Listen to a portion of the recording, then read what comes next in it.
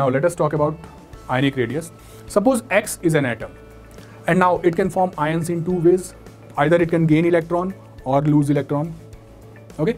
And it can gain many electrons and it can lose many electrons. Yes or no? Now,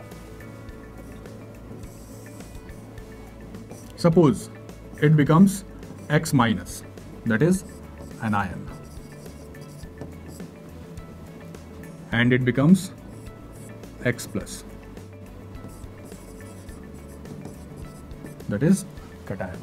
So during the X my formation of X minus, it must have gained the electrons. And as the electrons are number of electrons are increasing, the electron-electron repulsion will increase. And nucleus will become weaker. And as the electron-electron repulsion will increase, size will increase. Okay? So therefore what happens is that the size of X minus will be greater than X.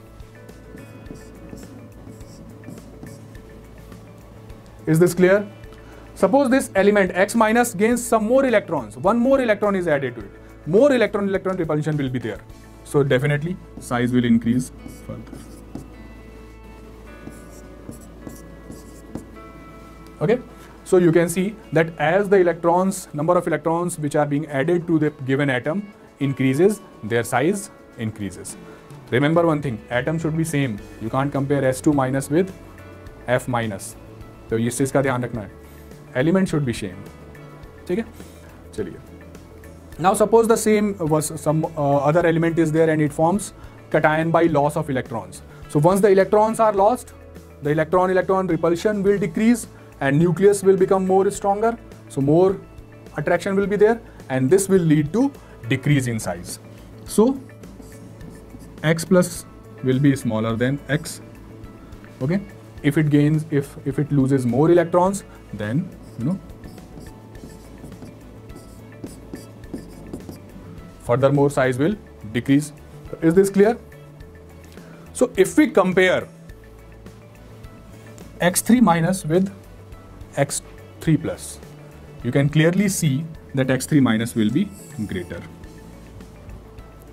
okay so therefore one thing you have to keep in mind that among isoelectronic species, now in the examination they are going to ask about the size of isoelectronic species, that among the isoelectronic species, isoelectronic ions, what is going to happen? The size of the size of cations is lesser as compared to anions and greater the negative charge higher will be the size and greater the positive charge smaller will be the size suppose we take an example we have to arrange Mg2 plus F minus O2 minus Al3 plus Na plus N3 minus in the increasing order decreasing order of their size. Then what you can see here that they all have 10 electrons. Yes or no? So they all have 10 electrons. So they are isoelectronic species as they are isoelectronic species, we have discussed that greater the negative charge, higher will be the radius. Okay, so definitely N3 minus will have the maximum size, followed by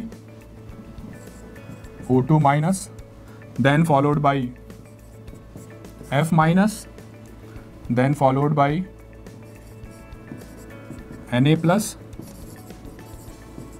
Mg2 plus, and Al3 plus. So this is the increasing order. Is this clear?